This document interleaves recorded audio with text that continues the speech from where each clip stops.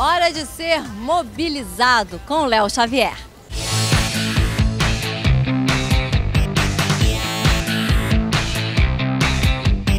Uma ação muito bacana que aconteceu em Nova York mostra muito como a gente pode utilizar o celular como esse grande controle remoto. Para promover a Nike ID, uma plataforma que permite a customização dos tênis, foi instalado um mega painel lá em Times Square e as pessoas eram convidadas a, a partir do seu telefone celular, ligar para um número e então usá-lo como controle para customizar o tênis, mudando a cor do tênis que aparecia naquele mega telão.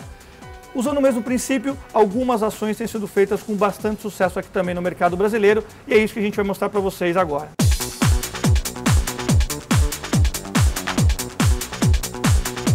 Estou aqui com a Marília Zanoli, ela que é gerente de marketing de Dove Desodorantes, para falar um pouquinho do case de Sample Machine Dove. É, Marília, queria que você contasse um pouquinho para a gente sobre a campanha. Essa ação é parte de um plano de divulgação da marca Dove Men Care, que foi lançado em novembro do ano passado pela Unilever, com um investimento de 24 milhões de reais. E essa ação também é parte de uma distribuição de samples que está sendo feita nacionalmente nas principais capitais do Brasil, em que o consumidor consegue receber uma amostra de forma exclusiva. Então aqui no shopping a gente tem a Sampling Machine, que o consumidor consegue solicitar via SMS a sua amostra. Então é uma forma de falar de forma mais personalizada com esse consumidor e ter um momento de interatividade com ele, não só entregando a amostra simplesmente. Qual foi o objetivo de inserir uma ferramenta de mobile dentro da ação de vocês? A ação foi estrategicamente desenhada para falar com o público-alvo de Dove, que são homens de 30 a 55 anos, e falar de uma forma inovadora, conseguir atrelar esse universo de tecnologia à marca e fazer essa entrega utilizando uma ferramenta que já faz parte do dia a dia desse homem. E Marília, queria que você contasse pra gente um pouquinho dos resultados dessa ação. Então, a gente tem uma troca média de 70 amostras por dia, o que é bastante alto, bastante relevante para a campanha, e a gente já tem resultados muito bons de marca. Então, com cinco meses de leitura de market share, a gente já tem 2,1% do mercado.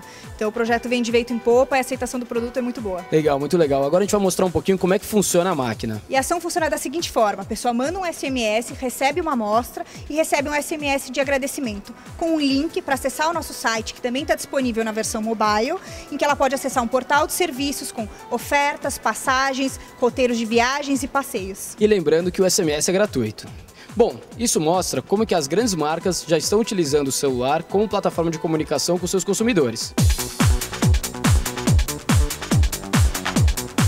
Bom, sobre esse case que vocês acabaram de ver, tem uma história muito engraçada. A gente descobriu que algumas pessoas que trabalhavam no shopping ligavam para os seus parentes e pediam para eles mandarem mensagens SMS para que então a amostra caísse ali no shopping e elas pegassem mais que uma amostra.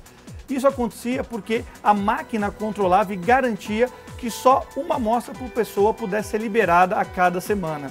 Isso, na verdade, é uma das vantagens muito bacanas desse sistema, que garante, a partir da máquina, a partir do software, um controle que foge um pouco dessa questão humana de entregar mais que uma amostra por pessoa. Bom, é isso. Espero que vocês tenham gostado. Até a próxima.